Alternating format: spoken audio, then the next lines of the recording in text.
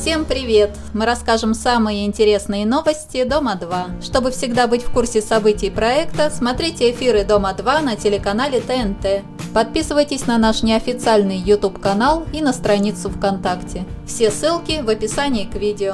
Сегодня у нас спецвыпуск, и мы расскажем вам о ДТП, в которое попала Ольга Бузова. Ольга и ее подруга передвигались на автомобиле по Москве. Обычно Бузова сама ездит за рулем шикарного белого Мерседеса, но в этот раз она пересела на пассажирское сиденье. Из-за простуды и головокружения она решила не рисковать, а прокатиться на автомобиле своей подруги.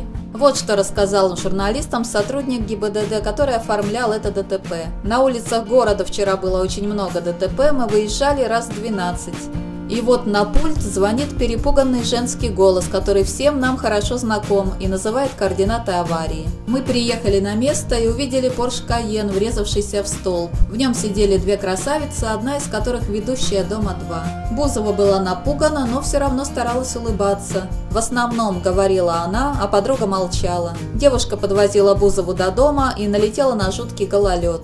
Несмотря на шипованную резину, автомобиль сильно закрутило, а затем занесло на обочину прямиком в столб.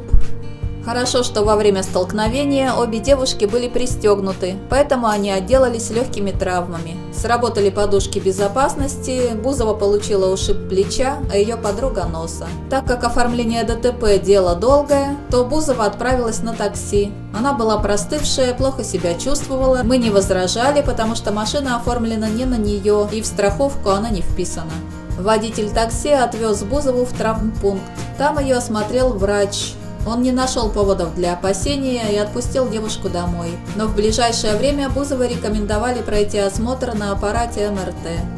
Представитель Бузовой Антон Богославский рассказал журналистам, что Ольга нормально себя чувствует и продолжает работать в обычном режиме.